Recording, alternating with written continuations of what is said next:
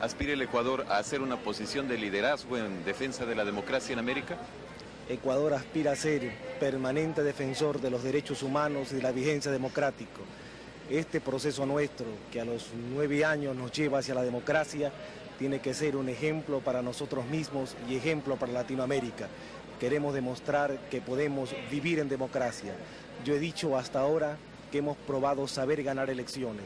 Nos toca probar que sabemos vivir en democracia respetando los derechos humanos, respetando el pluralismo ideológico. Una de las cosas más difíciles es hacer lo que se dice. Yo estoy dispuesto a cumplir con la palabra empeñada.